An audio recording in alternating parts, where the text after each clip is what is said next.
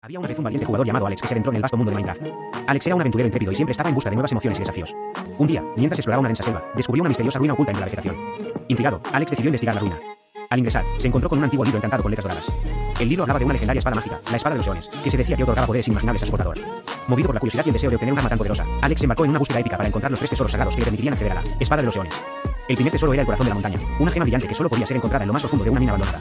Alex se adentró en las profundidades de la tierra, luchando contra hordas de criaturas hostiles y resolviendo intrincados acertijos hasta que finalmente encontró el corazón de la montaña. El segundo tesoro era el ojo del horizonte, una joya resplandeciente que se encontraba en el templo de un antiguo y poderoso ojo. Alex tuvo que atravesar un peligroso desierto, lleno de trampas mortales y guardianes mágicos, para llegar al templo.